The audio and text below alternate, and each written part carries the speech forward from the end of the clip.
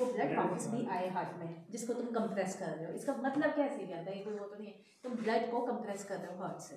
तो ब्लड को तुम्हें वापस भी लाना है। इसके भी हैंड की साइंस तो ये ना ब्लड को वापस लाना है तो तुम्हें उसको कंप्लीट चेस्ट रिक्वायर्ड भी रखना है। टाइम देना उसको ऐसे नहीं कि रुकना है पर उसको रिक्वायर करना है। ठीक है टेन सेकेंड से ज़्यादा इंटरप्शन नहीं करनी होती है ऐसी